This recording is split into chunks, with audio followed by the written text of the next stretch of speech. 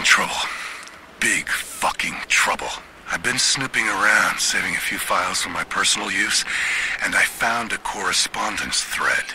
About me.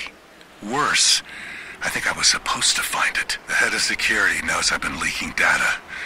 Probably known all along, and they're just watching for now, waiting to see what my end game is. I wish I had an end game. I'm gonna die just because I was nosy and stupid.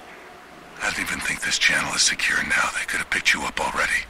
I'm getting paranoid out here. But this Trinity, they are big, and they're everywhere. And the more I find out, the more I realize how badly I fucked up.